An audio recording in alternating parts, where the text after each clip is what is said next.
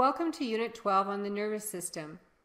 For ease of study, we're going to break this unit up into four main sections. Types of neurons, transmission of a nerve impulse down a neuron, transmission of a nerve impulse across a synaptic gap, and the reflex arc.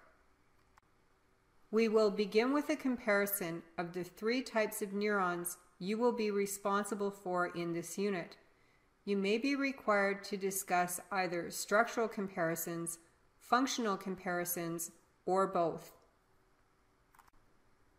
Structurally, all neurons have dendrites, axons, and a cell body, and all neurons can be myelinated.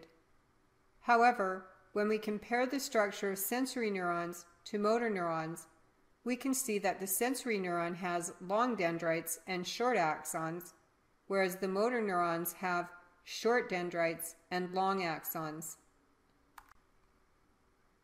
Notice that the dendrite on the sensory neuron diagram looks very similar to the axon on the motor neuron, and that the axon on the sensory neuron looks very similar to the dendrite on the motor neuron.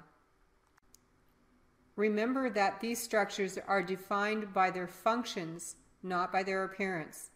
The function of the dendrite is to carry the nerve impulse toward the cell body, and the function of the axon is to carry the nerve impulse away from the cell body. If instead of structure, we are comparing the functions of the three types of neurons, comparisons are easily made. The function of a sensory neuron is to carry the nerve impulse from the receptor which initiates the nerve impulse, to an interneuron. Remember that interneurons make up both the brain and the spinal cord.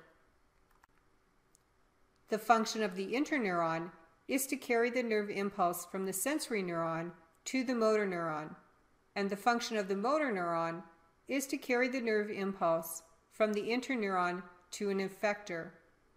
Remember that the effector is either a muscle or a gland that responds to the stimulus that has been received.